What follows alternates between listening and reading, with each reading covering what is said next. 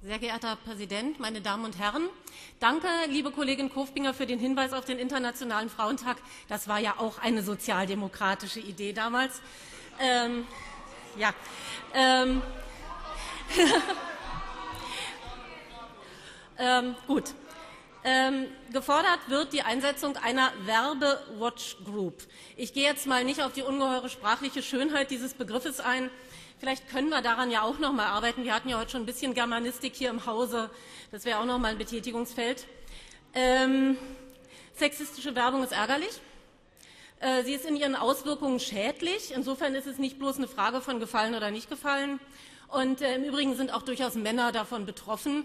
Denn es geht darum, dass äh, bestimmte Stereotype, Zuschreibungen äh, den Geschlechtern gemacht werden. Das kann zum Beispiel auch Gewalt gewalttätige Männer ähm, in der Darstellung sein. Ähm, sie, wer sich hier stark engagiert, ist ja auch die Initiative Pink Stinks. Die möchte ich mal erwähnen. Die finde ich auch sehr unterstützenswert. Ähm, da geht es um das berühmte Überraschungsei, das dann plötzlich rosa Pferdchen drin hat für Mädchen und anderes für Jungs. Auch das äh, fällt alles in diesen Bereich.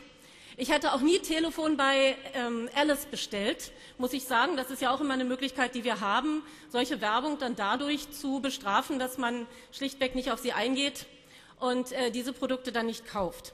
Die Thematisierung ist wichtig. Es geht ja auch immer um die Kinder, die hier in einer Phase, wo sie sich damit noch gar nicht so aktiv auseinandersetzen können, bestimmte Bilder in den Kopf getrichtert haben. Ich finde es da allerdings auch sehr sinnvoll, immer mal drüber zu reden und zu sagen, warum kaufe ich das denn nicht? Na, die Werbung hat mich geärgert, na, warum denn? Ähm, damit kommt man weiter, ist zumindest meine Erfahrung. Wir haben als SPD eine Beschlussfassung zu dem Thema.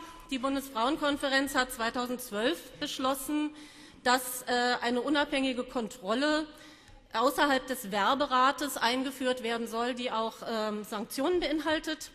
Äh, das wurde allerdings eher auf Bundesebene angesiedelt. Ähm, Wien ist natürlich interessant. Nun denke ich, wir müssen nicht unbedingt alles das, was die Expertinnen dort schon ausgearbeitet haben, hier von Expertinnen auch nochmal ausarbeiten lassen. Äh, ich vertraue den Wienerinnen, dass sie das äh, alles wissenschaftlich äh, sehr gut gemacht haben. Ähm, ansonsten ist der Antrag ja relativ allgemein.